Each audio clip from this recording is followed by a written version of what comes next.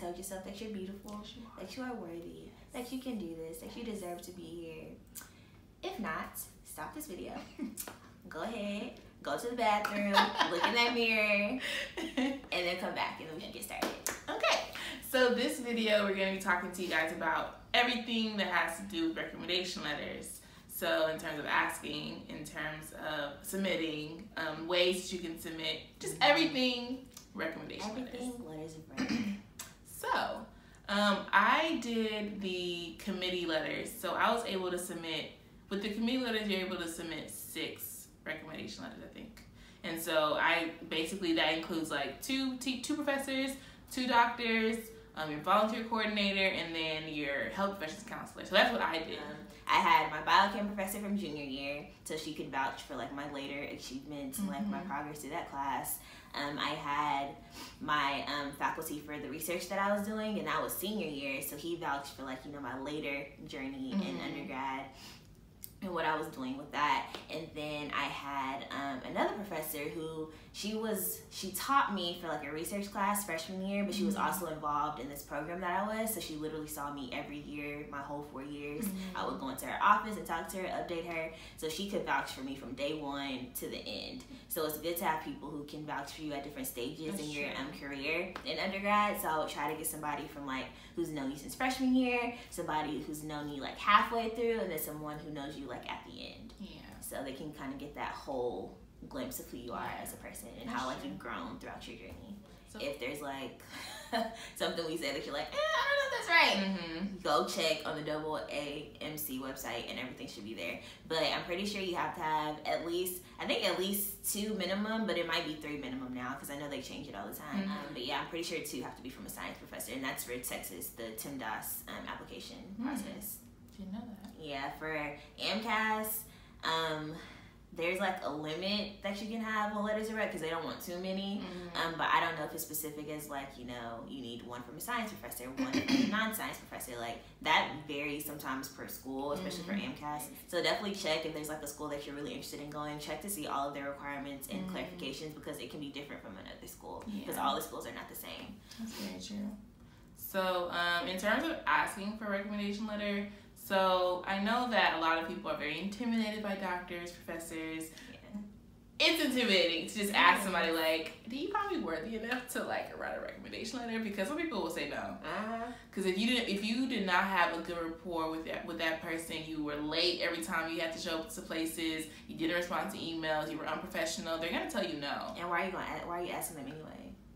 That's the number one thing. I forgot who told me this, but don't ask a professor who you don't know what they're going to say in that letter of, rec- That's letter of very recommendation. If you're not sure if they're gonna- they're going to give you a good uh, letter of rec or a, a, a iffy one, Mhm. like you don't want to take that chance. So Mhm. make sure you ask people who you know for sure. Yeah. And even when you ask them, like in the email when you're typing it up in the format, include. Will you be willing to write me a good letter of recommendation? Not just a letter of Yeah. recommendation, but like a good, excellent, like Mhm. put be specific because letters of rec can make or break you. Right. So in our what was it? It was the how did we get into medical school video in our GPA video. Um, we talked about going to your professor's office hour. This is why This so is why you should go. because they need to know who you are. They need to know that you have a good work ethic and that you did try hard. And even if you did were some people, even if you were a B student, if they sh- if you had an improvement from like a C to a B over like the course of a few tests, some professors will be like, "This is a great hardworking student." Da, da, da. Like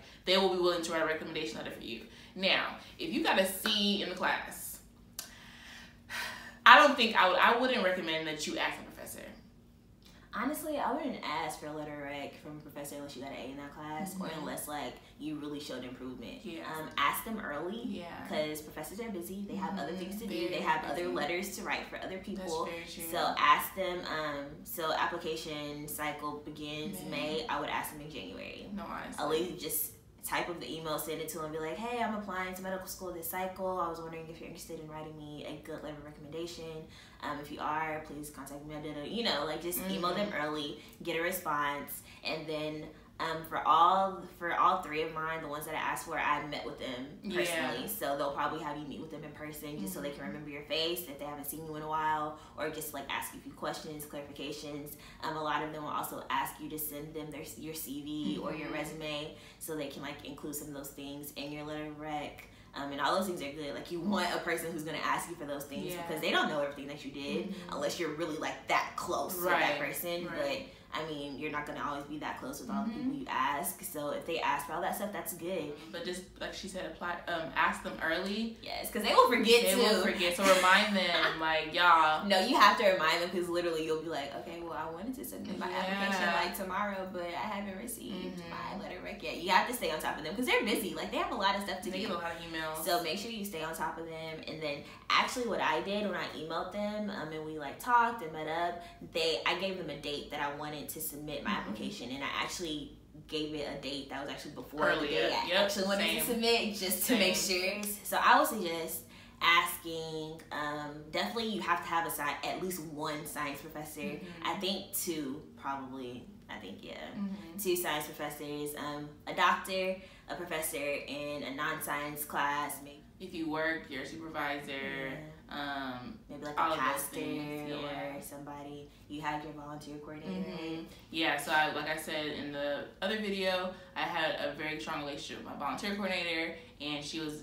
She even offered to write before I even asked her. She said, "If you need anything like rec letters, let me know. Like you want people who are willing to help you and um, help you achieve those goals, those long term goals that you have, because obviously they know that um, your position there is not going to be long term, but they know that they're a stepping stone to that Yeah. long term goal that you want to achieve. So have people in your corner that support you, and I feel like that was what really helped me get into medical school because yes, I had a strong application, but people were actually able to back me up with that information. So. So how to submit your application? So you submitted your, I mean your letters are right. So you submitted yours differently well, Mhm. through the committee. So, yeah, the committee letter. So I will literally handed my alma rec letters to my health professions office, and they handled it for me. I have no idea what happens after that. She basically was like, whoever writes your recommendation letters, have them send it to my office, and I will write your, your like overall recommendation letter, and then we will send it off for you on your behalf.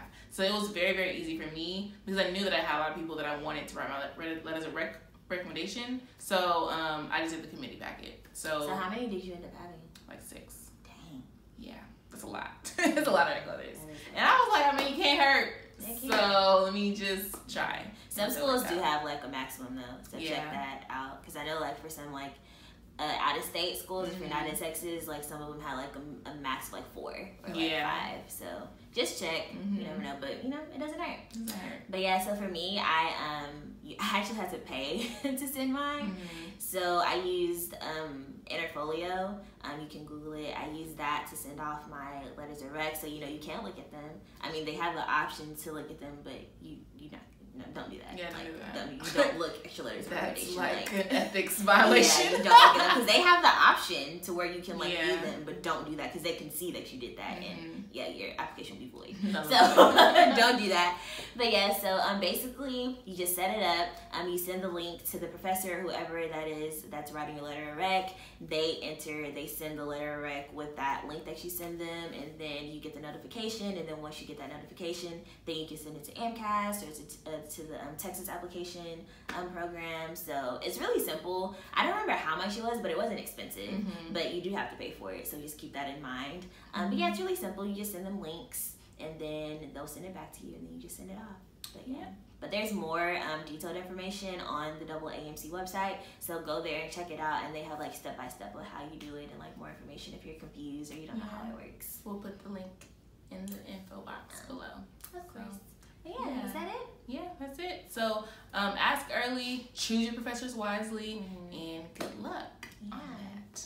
And make sure they can vouch for you yes. in a good way. ask for good luck. Like ask. That is so important. Ask if you don't take away anything from this video. Ask for a good letter of recommendation. Great, Great. excellent, Exceptional. Out of this world.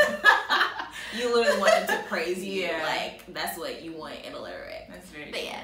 So we hope you enjoyed this video. We know it's short, but hopefully it was very helpful for you. Mm-hmm. So as you guys know, we have a giveaway.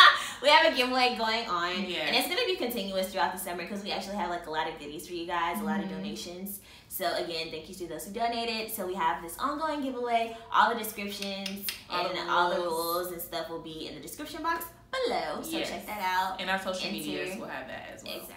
Also, um, for those of you who don't know, the resources that we're providing for you guys is Kaplan, Princeton, Examkrackers, flashcards, all of these things. They are used, they are highlighted, and they, they do have notes in them from past users. All the stuff is in the uh, description box below. If you have any other questions or comments, of course, just leave those for us in the comment section. Um, drop a gem, some Yes. encouragement from somebody else. If you have any questions, advice, need somebody to talk to, anything, you know, we're always here for you guys. Just DM us on Instagram, Twitter, message us on Facebook, email us.